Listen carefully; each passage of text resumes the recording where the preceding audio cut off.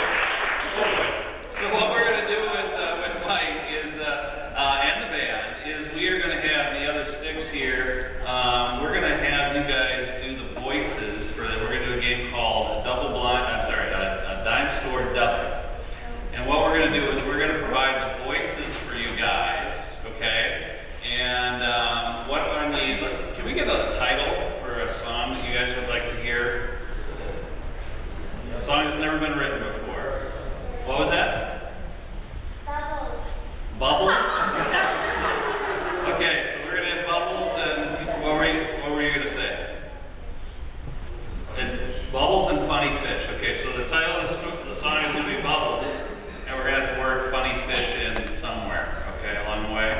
All right, but we're going to do this, we're going to do this as this band is going to be working together on a sort of an improvisational session.